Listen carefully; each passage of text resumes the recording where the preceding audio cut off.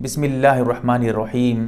اعتکاف کی حالت میں کوئی آدمی مسنون اعتکاف کیا ہوا ہے یعنی رمضان کے آخری عشرے میں جو اعتکاف کرتے ہیں، مرد ہو یا عورت ہو، مرد جو ہے مسجد میں کرتے ہیں، عورتیں گھر پہ اعتکاف کرتی ہیں، تو جو اعتکاف میں بیٹھے ہوئے ہیں، تو اگر وہ موبائل فون سے بات کرنا چاہیں کسی سے، تو کیا موبائل کے ذریعہ بات کر سکتے ہیں یا نہیں کر سکتے؟ اس کے علاوہ چند اور ضروری باتیں۔ اس ویڈیو میں میں آپ کو بتاؤں گا، جیسا کہ کتاب المسائل میں جلد نمبر دو، صفحہ نمبر ایک سو پچانوے پہ آپ یہ باتیں دیکھ سکتے ہیں۔ سب سے پہلی بات، اعتکاف کی حالت میں موبائل پہ بات کرنا کوئی ضرورت ہے۔ گھر سے فون کر کے کہتا ہے، گھر گھر والوں کے پاس فون کرتا ہے، کہتا ہے کہ بھائی دیر ہو رہی ہے، کھانا جلدی سے بھیجا دو، افطاری میرے پاس پہنچا دو، یا سحری کا سامان میرے پاس پہنچا دو، یا کوئی اور ضرورت کی چیزیں منگوا لیتا ہے گھر سے کہ میرا یہ کپڑا خراب ہو گیا تھا یا کسی وجہ سے میں کپڑا بدلنا چاہتا ہوں، کوئی نئے کپڑے میرے پاس بھیج دو۔ ضرورت کے وقت کسی سے فون کر کے جو ہے کچھ کہہ دیتا ہے، بات کر لیتا ہے، سخت ضرورت کے وقت۔ کچھ مسئلہ پیش آ گیا۔ اب وہ پریشان ہے۔ کسی عالم سے فون کر کے معلوم کر لیا کہ مفتی صاحب، یہ مسئلہ کیا ہے؟ ذرا بتا دیجیے۔ اعتکاف کی حالت میں کوئی حرج نہیں۔ بلا کراہت جائز ہے۔ لیکن ہاں بلا ضرورت۔ اعتکاف میں بیٹھا ہے، گھر سے بات کر رہا ہے۔ کیا کر رہے ہو؟ کھانا کھا رہے ہو؟ کیا حال ہے؟ یہ سب چل رہا ہے۔ اور بچے کیا کر رہے ہیں؟ بلا ضرورت۔ بات کو طول دے رہا ہے۔ تب پھر مکرو ہے۔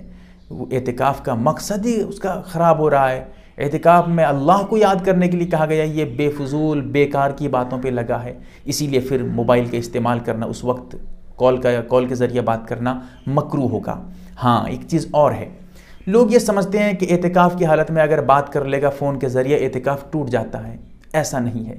اعتکاف کسی بھی حال میں بات کر لینے سے فون سے اعتکاف نہیں ٹوٹے گا۔ اس کے علاوہ اعتکاف کی حالت میں موبائل کا بلا ضرورت استعمال بھی نہیں کریں۔ آپ استعمال کریں گے، کچھ اور مطلب یوٹیوب وغیرہ پہ کچھ دیکھتے ہوں گے یا کچھ بیانات سنتے ہوں گے، ہو سکتا ہے وہاں پر کچھ اور چیزیں آ جائیں، آپ پھر اسی چیز پہ لگ جائیں۔ ایسا بھی نہیں کریں۔ اعتکاف میں قرآن کی تلاوت کریں۔ دس دن موبائل چھوڑ دیں۔ بیکار کی چیزوں میں یعنی ضرورت جو نہیں ہے، اس پہ آپ اس وقت دھیان نہ دیں۔ موبائل سے دور رہیں۔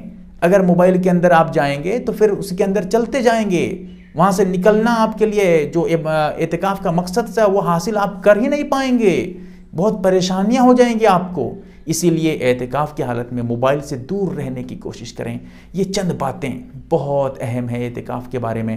اللہ تعالی ہمیں عمل کی توفیق دے، صحیح سمجھ ادا کرے۔ یم اے آر بی دینی معلومات چینل کو سبسکرائب کریں اور گھنٹی والے نشان کو ضرور دبائیں تاکہ ہماری ہر نئی ویڈیو آپ تک پہنچتی رہے۔ ویڈیو کو لائک اور شیئر ضرور کریں اور ہماری ہر ویڈیو آپ اپنی چینل میں ڈال سکتے ہیں۔ نیز ہمارے ساتھ واٹس اپ پر جڑنے کے لیے آپ اپنا نام اور مکمل ایڈریس کے ساتھ ایڈ لکھ کر میرے WhatsApp number eight nine zero eight nine three nine three four three کو میسج کریں۔